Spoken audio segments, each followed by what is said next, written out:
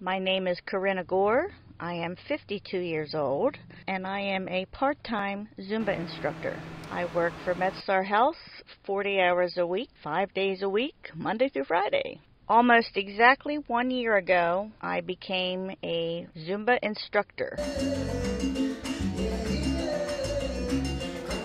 I teach Zumba two to three times a week. I also sub for other ladies. If they can't make a class, I will fill in for them. I like teaching Zumba because I get a lot of exercise.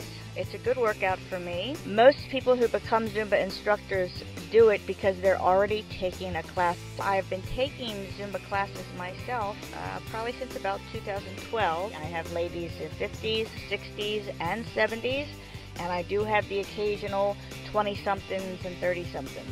Zumba is like a dance party for an hour. It's great exercise, it's very fun and entertaining. It's a way of making extra money. It's fun to teach class, and I love the ladies that I teach. I don't even feel like I'm 50.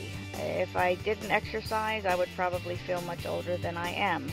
Zumba does keep me young and keeps me physically fit.